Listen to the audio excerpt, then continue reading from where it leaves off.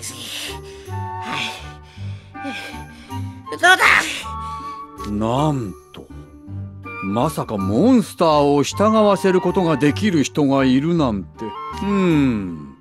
実は入学式騒動の時から私の教育者の勘が言っているんですよね。あなたには調教師や猛獣使い的な素質があるのではないか。と。しかし、まあ、どう見てもこのか弱さは猛獣使いも猛獣にパックリとやられてしまうなんてかでしょ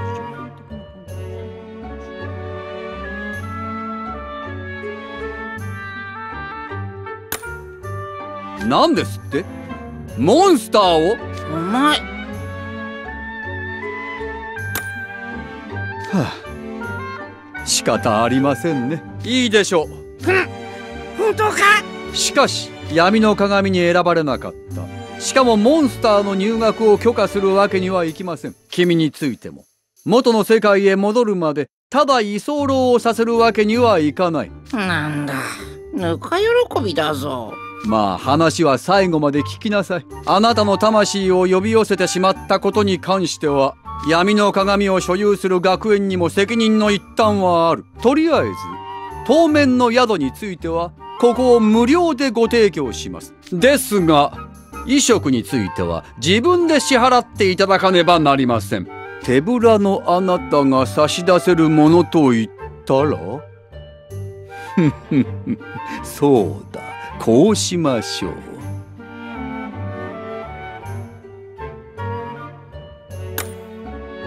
そんなに身構えなくて学内整備などの雑用をこなしてもらうだけです。あなたは見たところ掃除の腕はなかなかのようですしひとまず二人一組で雑用係はいかがです？そうすれば特別に学内に滞在することを許可して差し上げます。元の世界に帰るための情報集めや学習のために図書館の利用も許可しましょう。私優しいのでただし仕事が終わってからですよ。ええー、そんなの嫌なんだぞ。俺様もあのかっけえ制服着て生徒になりたいんだぞ。不満ならば結構また外に放り出すだけです。ふな分かった。やればいいんだろ。やれば。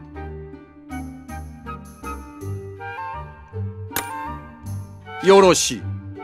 では二人とも明日からナイトレイブンカレッジの雑用係として励むように。